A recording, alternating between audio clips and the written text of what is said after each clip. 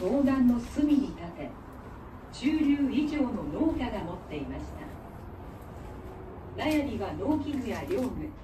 あるいは蚕を飼う道具を入れました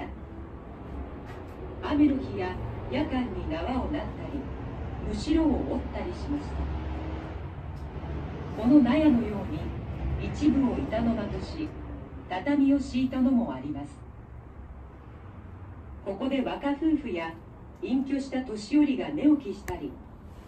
また作男と言われた使用人が住みました。納屋には炊事場は設けず食事は大屋で家族全部が済ませました。